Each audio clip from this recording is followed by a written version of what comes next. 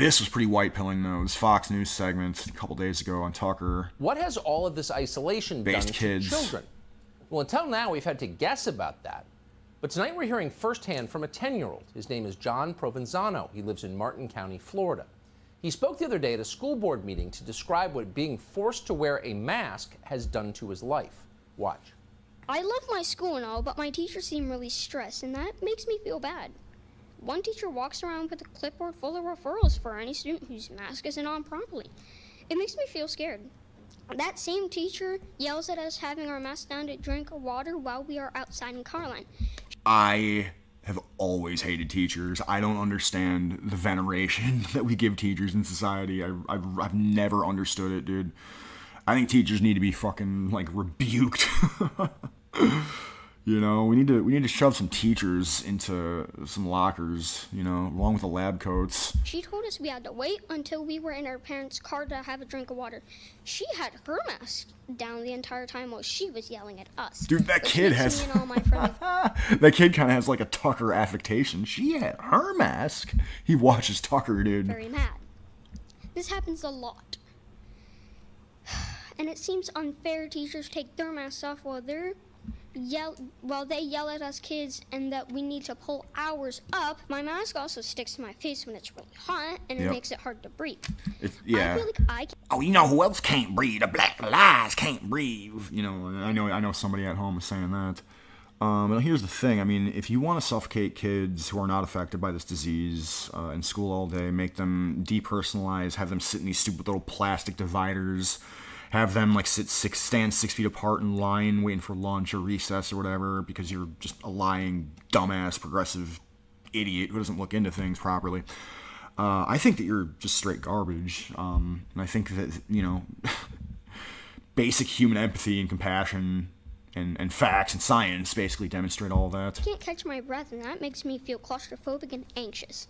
It's really Yeah, yeah, I mean, like these kids are killing themselves, and the kids are getting addicted to drugs and probably porn and junk food and just being isolated. And it's probably not, and in a lot of different school districts, there's probably no sense of community at this point for the past year. Like, it's probably just felt like these kids live in bubbles. Their faces must just be so blank, dude. you know? stressful.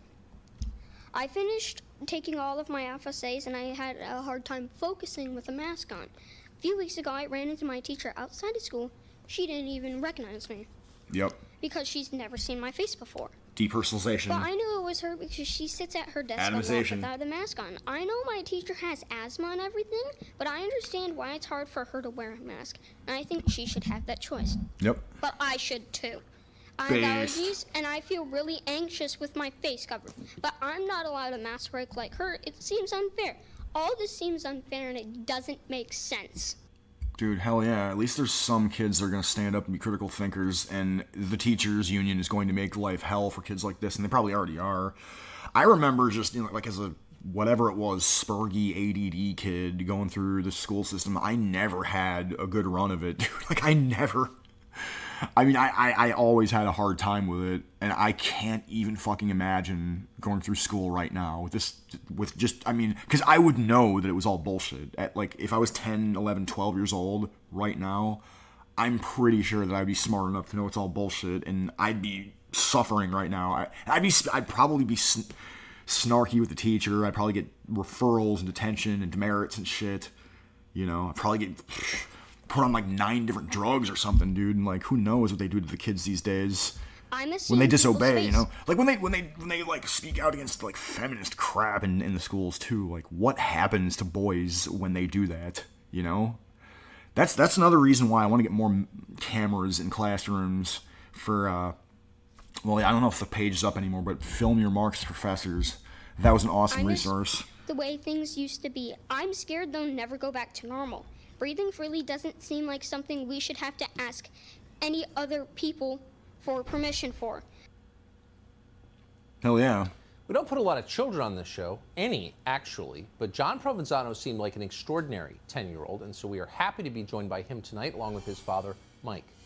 Thanks both coming on tonight. I appreciate it. You're brave. You're, you're brave to do it, and we're the beneficiaries of it. Actually Um, stunning John, and I want to ask you first. You, you said that wearing a mask makes you feel anxious. Can t- tell us what what you do feel like when you have to wear it at school. Well, when I have to wear it at school, it it almost like builds up stress and it's me in me. I'm like, wait, what do, what do I do? It's like, who's this? Who's that? It's like, I don't recognize anybody. Mm-hmm. Disorienting. Really? Just and you said you said later in your in your talk, and we didn't play it, but it was I thought the most poignant part. You said you saw one of your teachers outside of school, and she didn't recognize you. She didn't know what you look like. Yeah. Exactly. Because we're stuck in a classroom while wearing a mask for seven hours a day. So she's actually never seen me or any of my classmates' faces before. So when I bumped into her at a school, I said, Oh, hi. And she's like, Oh, wait, that's you? And I'm like, Oh. Yeah, I, I hate teachers, man. me. And she's like, "Oh, hi, John. I really don't see your face because all I see is just your eyes." Dude, this is this is a full-on anti-teacher platform. I, I think teachers use this COVID ruse, this scamdemic crap, to leverage. They and they use the kids to leverage more gibs for themselves, more pay, you know, more benefits, more more programs. Like for the youth and the Blakes and the Womans, but it's you know it's just obviously just one big power and cash extraction.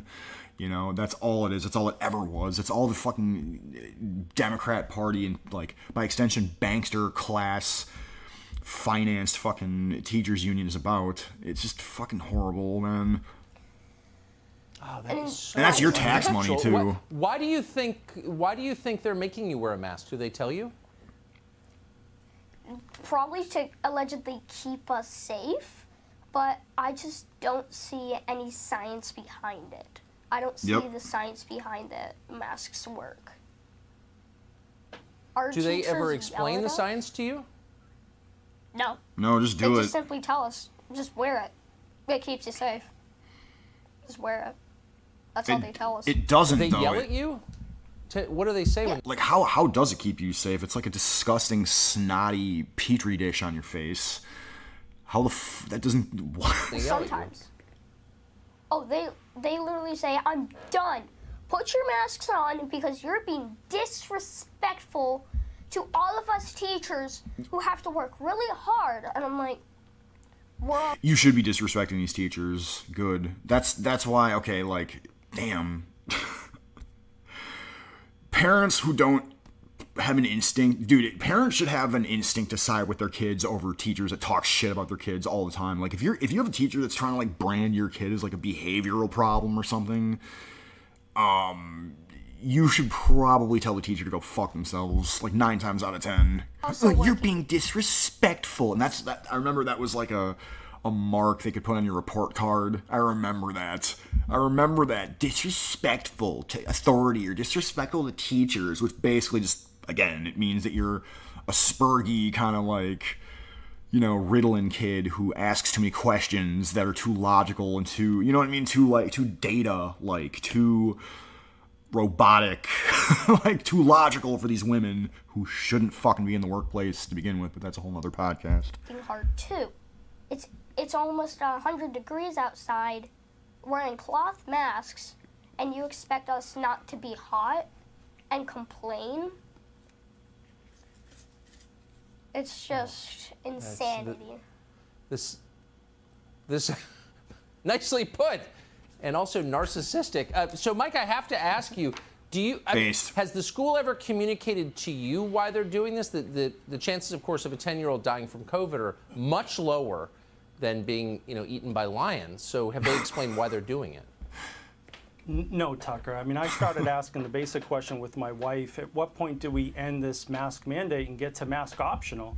Uh, I guess when white people do things that Blakes have been doing for the past year over frivolous things, except over things that are legitimate. Uh, in Minecraft. So I started asking questions with the principal and ran up the chain to the school board, and there was no apparent answer. There's there's no objective evidence. They hadn't looked at um, this for over seven months from when they did the school reopening plan. Uh, so it became apparent to me that no one was really looking at this, and if this was, this should be the most important thing. We're talking about the health and well-being, physically and psychologically, of our children. Yeah, and well- it seemed like no one was paying attention to it. this is also peak conservatism is like i'm sure this guy has some inclination or inkling that schools in general are kind of lefty indoctrination camps for kids and to give like useless women like busy work to make them feel involved in society um, and they're basically just daycare centers for other women that are irresponsible with their families and stuff uh, same with daycare centers it's amazing to me that like so-called conservative men are sitting here like begging to get their kids back in school you know seeing what the teachers are doing making their kids wear the mask. Why aren't it's like why even i mean i, I don't know. It's like this segment is is is it's sad that a segment like this is quote unquote white pilling i guess is what i'm trying to get to because this is barely any sort of real response you know what i mean managing the situation in terms When- of compared to what's when do needed. we actually get to mask optional? When does that happen? Did, did the principal and the teachers and the school board welcome your questions as a father? I I mean, we get three minutes at a public meeting to comment. There's no dialogue. Um, so there's no transparency. they, they, they quote that they're following the science, but they haven't provided one scintilla of what that science is that they're relying on Like to make the basis of this decision to keep the kids mandated in mass when everyone else in the state of Florida, we have a great governor, you know, is saying let's get life back to normal. When can it return back to normal for the kids? Why is the school exempted from from this, and why can they make their own rules, which is counter to everything? Now you're hearing from the CDC finally, and our governor. Dude, let's just be honest. These are psychotic wine cat ladies who are torturing a lot of little boys that they don't like and trying to demoralize them so they're more susceptible to this like critical race theory, read anti-white theory, anti-male feminist fucking theory, fucking indoctrination, dude. So that they're more susceptible to the founding fathers are racist, like that whole fucking crap. Which is, you know, viewers that are a little bit older know that like that stuff is way more ubiquitous and way more hardcore today than it was when we were going to school, right? This kid or kids this age are getting just completely lobotomized, dude. like, and commissioner, guys like this are like, well, we, we have some concerns about uh, sending our kids to a lefty indoctrination center where he's forced to wear a disgusting, snotty petri dish over his face for no scientifically sound reason. Now, we, we have some questions and concerns about the science rather than, like, you know, doing something way more, I don't know. of education. Fed. Our school board is making this decision all on their own without any transparency or even rationale for why they continue to do this. So my producers are telling me that we have video of you, I think today, possibly, possibly yesterday, at the school board meeting, and it shows the kind of reception that you got. Okay, There it okay. It It's looks got- like Yeah, you're being asked yeah. to leave.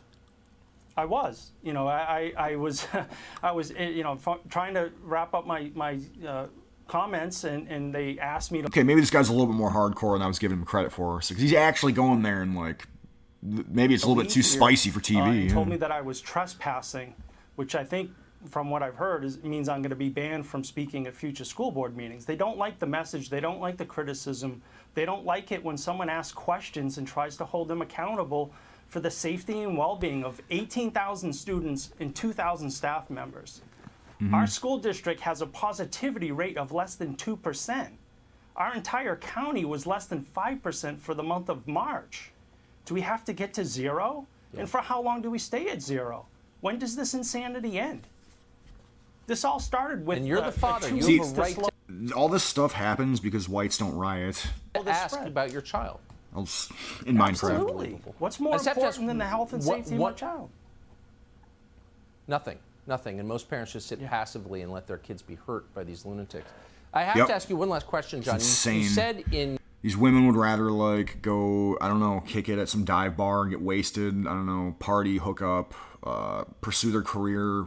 You know what I mean? Pursue materialism and hedonism. They'd rather and they you know and drop their kids off at daycare and school. They don't care about the masks. They and they've convinced themselves that it's all correct. It's all kosher. Well, it is kosher. oy vey, oy gewalt, oy gefilte fish, um, they've convinced themselves of this, or, or they lie. Just I, they don't care. They're negligent. Tucker's right. They're just letting their kids be hurt by these lunatics. Your talk to the school board, which Why? How? uh, that you delivered, that you were confused because you were yelled at for pulling your mask down to drink water, but your teachers, as they were yelling at you, had pulled their masks down. Yep. What did that make you think? It's ridiculous. I mean, we, we have plenty of videos of the protesters fucking doing that.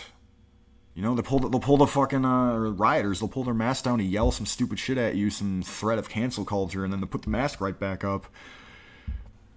I was like, hmm, this does this is this the school policy? Are they allowed to take their masks off? Yes. Well, we're taking ours mask, our masks down to get a drink of water. Is that the new policy? No, I don't think so. So a lot was just going through my head. It's like, what do you guys mean? You have your mask down when we have our masks down to drink water, and you're yelling at us to it, the big fat disgusting teacher probably had to take the mask down in order like rancor or like t-rex style scream at this poor little kid for taking a mask down for like a millisecond you know. I fucking hate teachers dude. I, I just i think that uh, you know it's an intellectual position to oppose teachers. They're just glorified prison guard turnkeys. I've been saying it for years man they administer just like propaganda and just drugs apparently i mean or, or that's it like put it just- up when yours isn't. now, now and now just like mask enforcement and mask conformity and propaganda it's just There's no logic. What's that called? Hypocrisy, right? Hypocrisy. It's hypocrisy. Yeah. They don't they don't matter like it when a lot goes through your head. You are a skeptical young citizen, and I hope there are millions more like you. John and Mike, thank you for coming on tonight. yeah it's pretty based